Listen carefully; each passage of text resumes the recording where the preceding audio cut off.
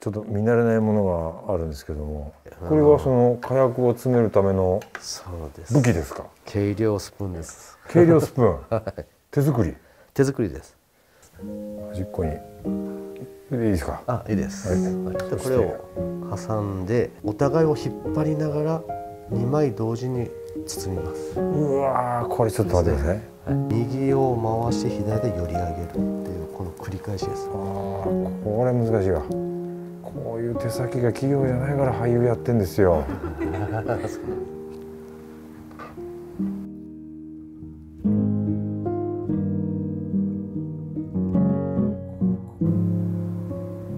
うん長さはバッチです。商品化はちょっと難しいです